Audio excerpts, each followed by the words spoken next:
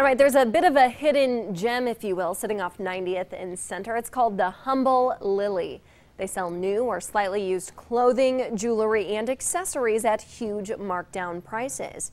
We were there today as they received a new donation, this time from a couple of the residents of Montclair Nursing and Rehabilitation Center.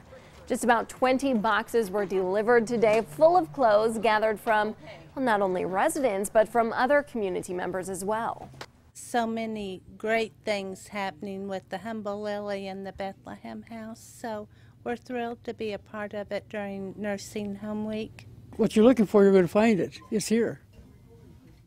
Now the price of these clothes, they range anywhere from $8.99 up to $40. Quite a steal. Absolutely. Love getting stuff for the right price. Yeah, you bet.